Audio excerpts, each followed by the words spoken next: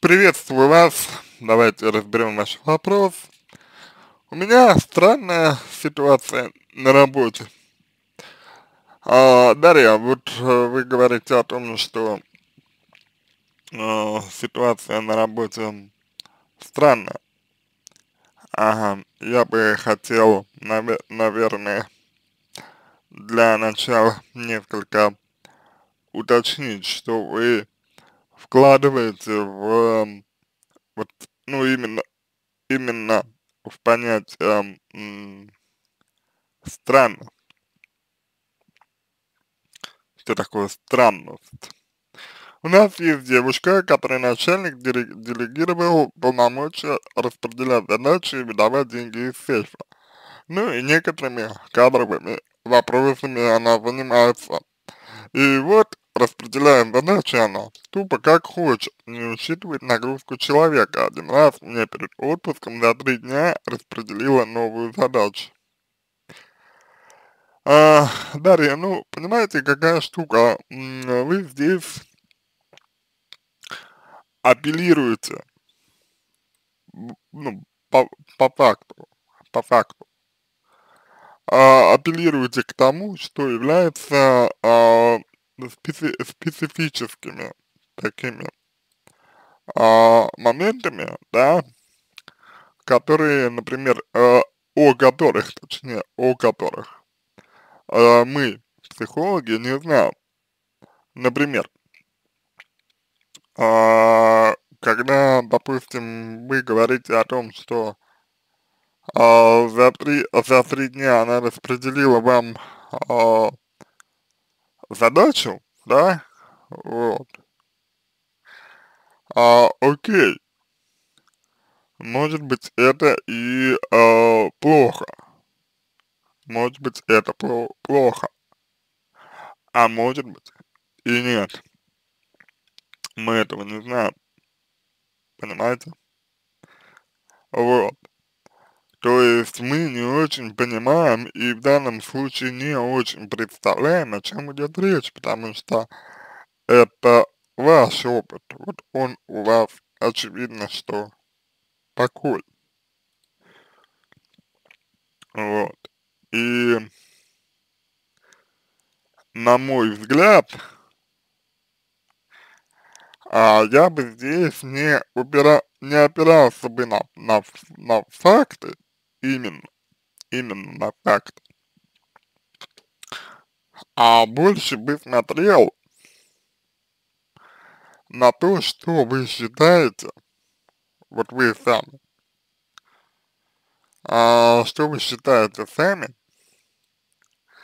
для себя неприемлемым. Вот. И чтобы вы вместе с тем обращали внимание на то, что вы хотите с этим делать. Понимаете? Ну, бан, ну банально. Вот. Потому что, ну да, вы можете быть с чем-то не согласны, это абсолютно нормально. Вас может что-то не устраивать то тоже абсолютно нормально. Вопрос заключается, наверное, немножечко в другом. Что вы хотите с этим делать? Да? Вот это, как мне думается, важный момент здесь. Дальше идем. А, я неоднократно просил ее хотя бы спрашивать у меня, у меня мою нагрузку, так как мне начальство напрямую распределяет много задач. Получается накладка. Пишите вы. Что же, здесь вы а, по сути, по сути дела, говорите о следующем, что у вас много задач, вы говорите. То есть вы говорите о том, что вам тяжело, что вам вот и начальство, получается, задачи какие-то делегирует, да, вот, и еще эта, эта девушка тоже делегирует вам какие-то задачи, получается накладка, согласен.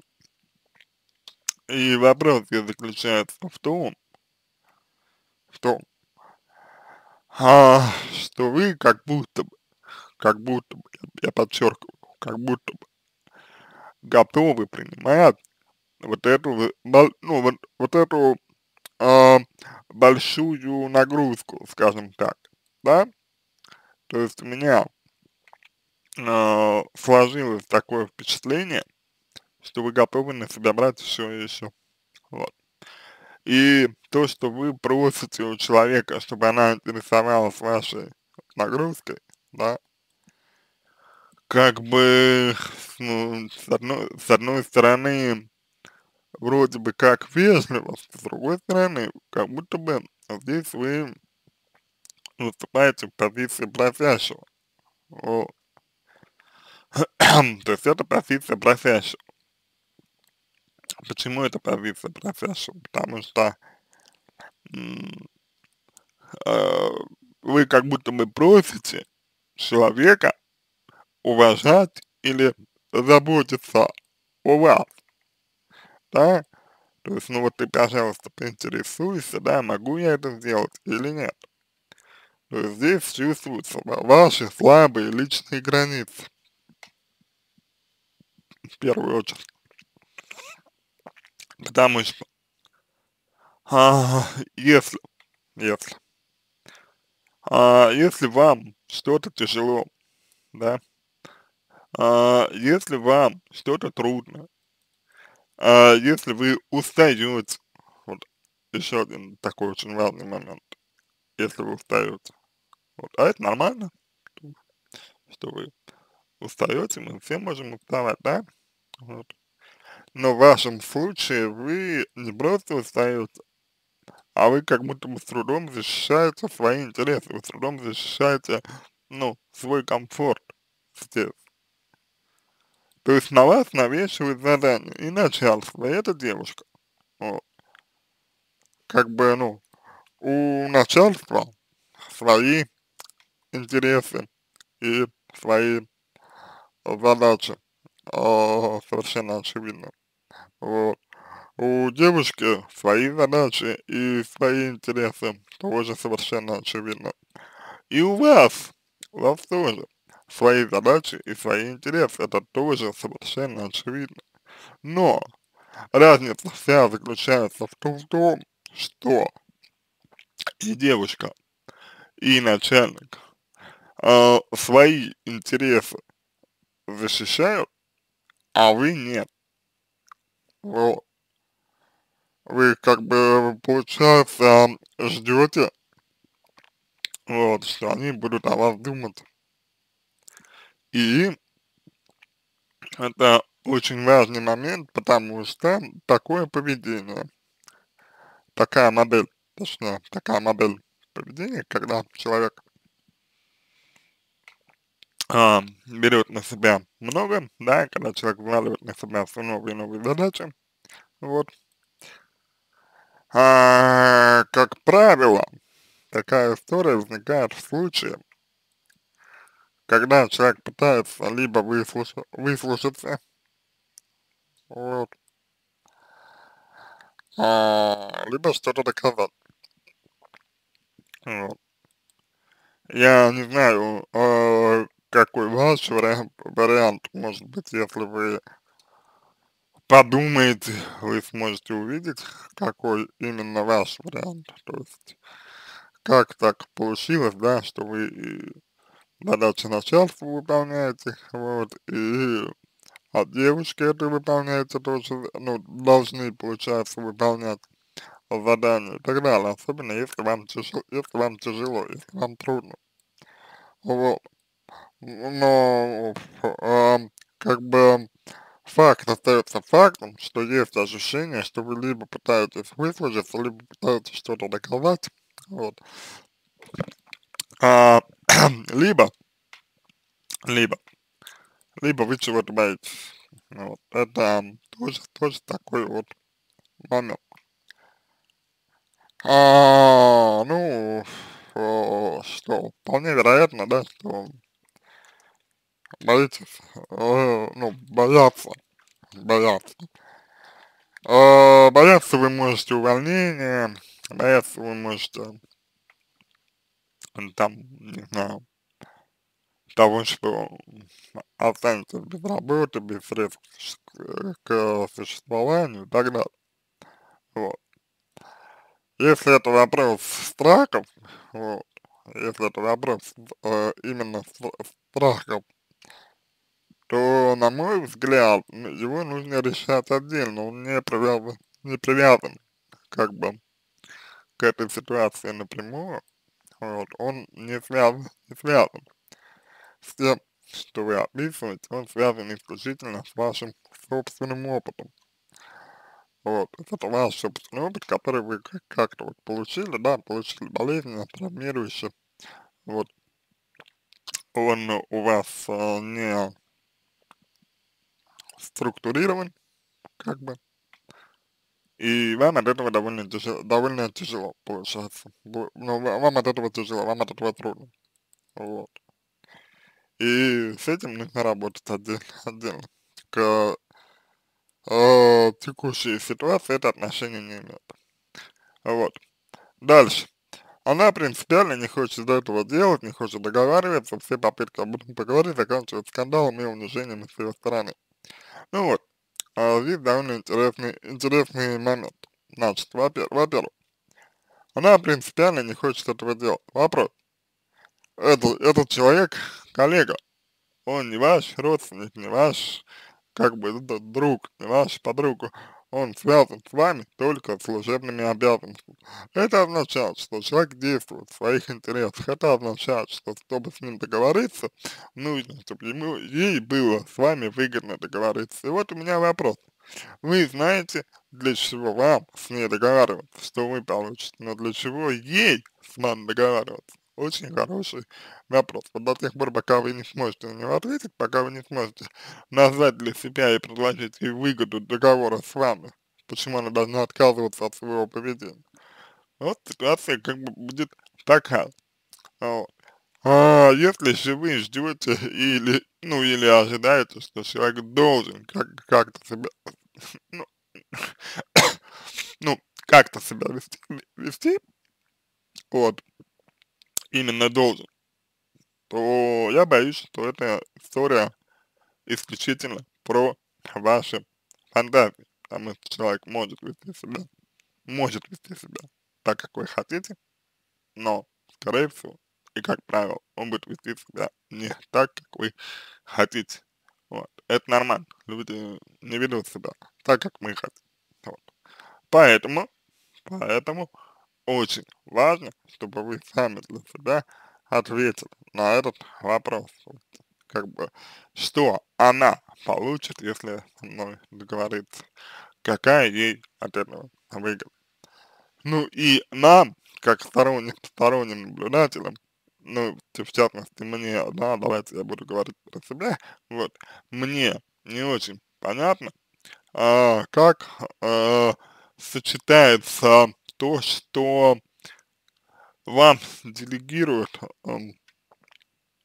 значит, какие-то задачи вам делегируют начальство, как какие-то задачи вам делегирует вот эта девушка. А как это вместе сочетается? То есть это должно друг друга дополнять, это должно друг друга замещать, потому что, ну, по идее, если начальство делегировало девушке э, обязано, да, распределять задачи, то само начальство делать это больше не должно. Вот, если это делает и начальство, и девушка, то, ну, совершенно очевидно, что задачи выполнять в первую очередь, наверное, нужно начальство, потому что начальство ставит выше. И приоритетной, приоритетными являются задачи именно начальства, потому что иерархия, вот, то есть мне не совсем понятно, как вот соотносится задача начальства и задача этой девушки. Вот. если начальство делегирует вам какие-то задачи, э, что называется, лично, то тогда зачем эта девушка? Вот. Зачем тогда она, ну, для чего ей тогда делегировали задачи? Вот. То есть, э, тут вот, э, опять же, да, мне как человеку со стороны, да, не очень этот момент понятен. Но вам, как той, кто в этом, что называется, кру крутится, безусловно, эта ситуация ясна. И исходить здесь нужно именно из трудового договора. В трудовом договоре прописано, сколько вы работаете, да, сколько вы работаете, как вы работаете, и т.д. и т.п. И объем работы тоже в трудовом договоре должен быть прописан. Ваши обязанности и так далее.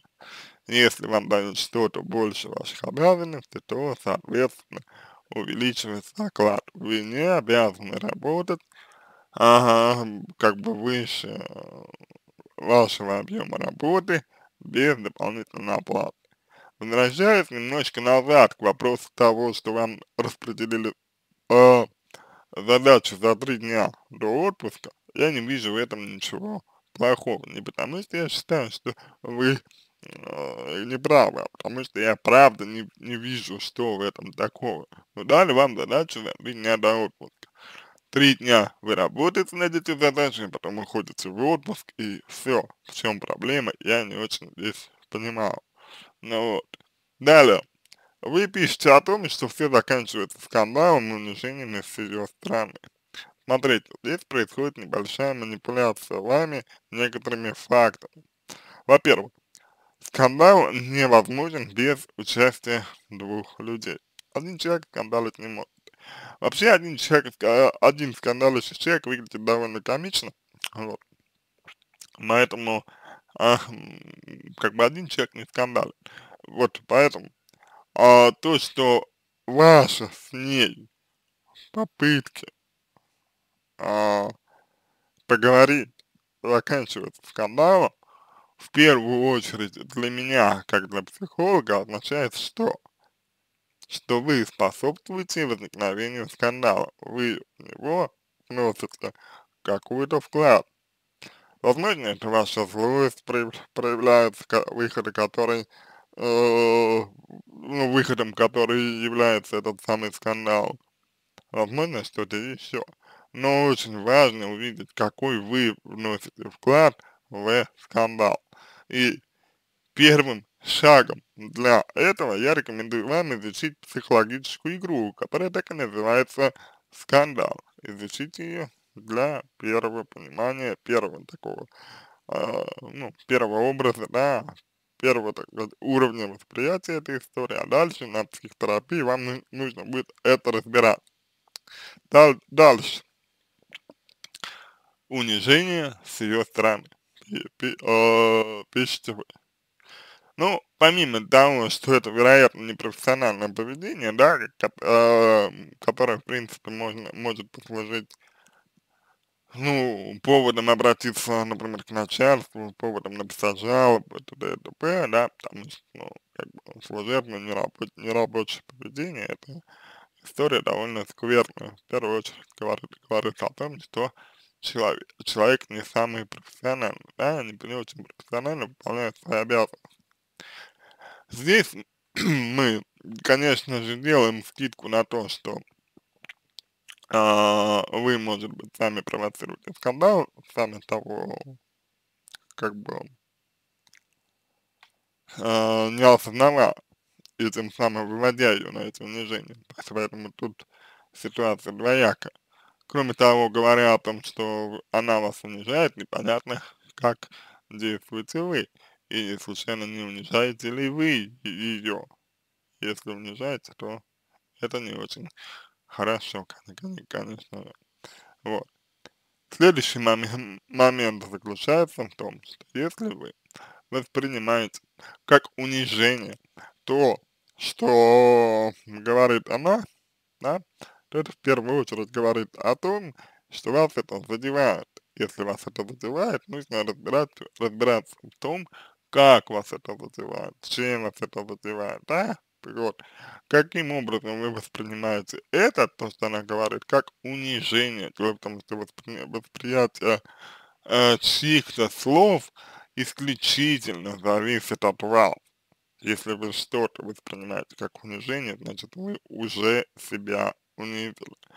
А поскольку унижение себя внутреннее является актом аутоагрессии, вот, то я полагаю, что это изначально предназначалось кому-то другому, потому что в основе акта аутоагрессии лежит злость, злость перенаправлена на себя. Значит, мы подавили злость на другого человека, не умея ее выразить, ну, таким конструктивным, скажем так, способом. Это возвращает нас к тому, о чем я говорил в начале, что вы не защищаете свои интересы.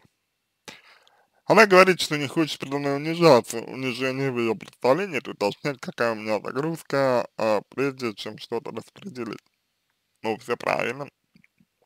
Для нее это унижение, а ввиду того, что человек не видит для себя выгоды этого делать. Ей не выгодно так поступать, поэтому для, она может воспринимать это как унижение. Вопрос, что вы можете сделать для того, чтобы ей было выгодно это делать? По факту, она не выполняет ничего важного, но начальство ее просит распределять задачи каждый раз. Ну, то, что вы говорите, что она не выполняет ничего важного, это скорее ваш проект своей обиды, потому что если бы она не, не, выполняла ничего важного, то начальство бы ее не держало. Ну, вот так бывает, что на работе не делят людей, которые не выполняют чего-то важного, особенно в настоящее время. Сама она этим заниматься не хочет. Чем? О чем мне тоже говорила, но отказаться она не хочет. Это ее проблема. Вот понимаете, здесь вы опять же демонстрируете, что зависимость от другого человека, невозможно продвигать самостоятельно собственную модель поведения и интересов. Разговоры не помогают, правильно, потому что вы ничего ей не предлагаете. Недавно сказала, что если меня что-то не устраивает, чтобы я не определял, писала об этом в общий чат с руководством. Вы так делаете? Да, выглядит как хоро хорошая рекомендация. А, часто может командовать в этом плане, за то, что мысль не, вы, не вынесли, хотя ее начальник никто не назначал. Чувствуется, чувствуется, что у вас довольно много злости, обиды и агрессии, я думаю, что это вам нужно помочь прожить, потому что сейчас это просто деструктивно влияет на, на то, что вы делаете. Я не хочу ей подчиняться и не нужна, так абсолютно нет никаких способностей к управлению организацией. Хочу просить, чтобы с нее сняли эти полномочия, но не знаю, правильно ли я поступал. Я не думаю, что просить, э, просить э, снять кого-то полномочия является вашей э, компетенцией. Я думаю, что вам нужно отстаивать свои интересы. Действуя через другого и пытаясь избавиться от другого человека, вы не решаете своих проблем, в том числе психологических. А, значит, не знаю, правильно ли я поступаю, э, и что в целом следует делать в таких ситуациях, я ни разу не выпадала. В первую очередь, начинать с юридической стороны вопроса. Вторую, работать с психологической стороной данной ситуации. На этом все. Буду благодарен за обратную связь по моему ответу. Это позволит вам начать над собой работу. А, я желаю вам всего самого доброго, удачи, обращайтесь.